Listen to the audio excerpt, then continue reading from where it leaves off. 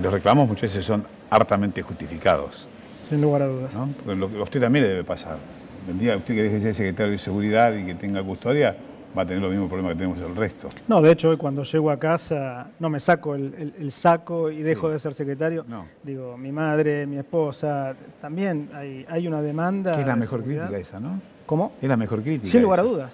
Sin lugar a ¿Y dudas. qué le critican ahí en su casa? No, muchas veces no entienden, por ejemplo, algunos fallos. ¿Cómo puede ser que esté suelto? ¿Cómo puede ser que no lo atrapen? Eh, a ver, ¿Y ahí lo hace normal? ¿Y ahí hace usted? lo normal, pido, pido clemencia. Pide clemencia, sí. Eh, no, la verdad que lo que pide cualquier ciudadano, y eh, bien lo estaba marcando usted, en materia de seguridad es una problemática de todos los ciudadanos y la seguridad no se ataca solamente con el policiamiento.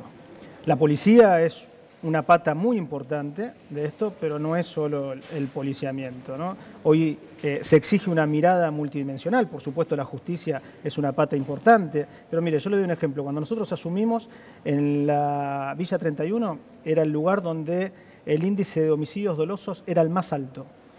Y eso era claro, eh, en un claro ejemplo de disputa por el territorio del narcotráfico. En bandas del narcotráfico.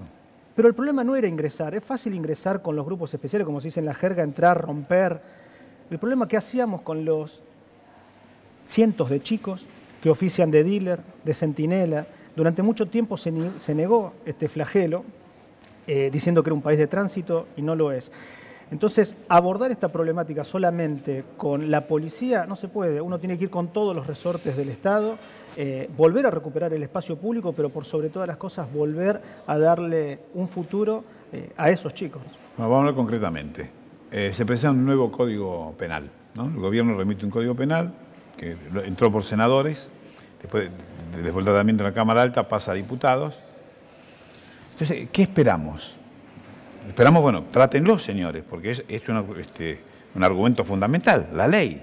La ley que van a tener que cumplir los jueces que tiene que ser lo suficientemente clara para que no estén estos grises, donde la interpretación del magistrado judicial hace que hasta se desvirtúe la ley. Esto, esto está clarito. Clarísimo. Bueno, bien. Y en verdad, este, todo esto que la sociedad espera no se ve realmente reflejado porque no sabemos, y esto es cierto, si lo van a hablar este año.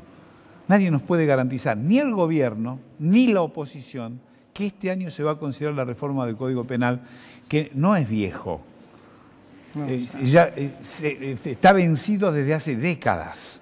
¿no? Es más que antiguo. Es más que antiguo, porque decir antiguo es una generosidad que no corresponde.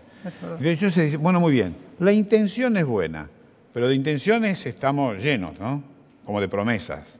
Sin lugar a dudas. Bueno, Pero no es solo el Código Penal, como bien marca usted, también hay un debate que nos debemos, que es la Ley Penal Juvenil. Sí. Pareciera que uno tiene miedo Sí. de hablar de esto, y por supuesto hay que hablarlo con la responsabilidad del caso concreto eh, y fuera de cualquier bandería política, ¿no? pero en un año electoral es difícil eso. Bueno, esa es la Más madurez, difícil, es más difícil. esa es la madurez que tienen que mostrar nuestros representantes ¿Usted cree que están maduros para poder abarcar en el esto? Congreso. Y mire, se dio el año pasado No un es debate. todo, no es todo, no es eso- generalizado, no son eso- todos. Por eso quiero. Se dio un debate que muchos podían apostar que nunca se podía dar, El aborto, el del aborto. postergó el del código. ¿eh? Vamos a ser sinceros Sí, sí, Un postergó- gran debate, el mejor debate en mucho tiempo, este, en un año pobre en leyes, pobre, muy pobre. ¿Mm?